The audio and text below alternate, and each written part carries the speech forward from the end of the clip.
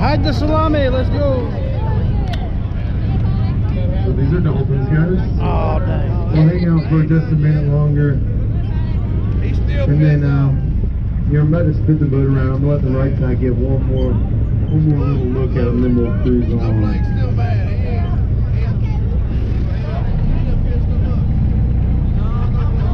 Right side, one last look. First time I've seen a uh, dolphin pecker.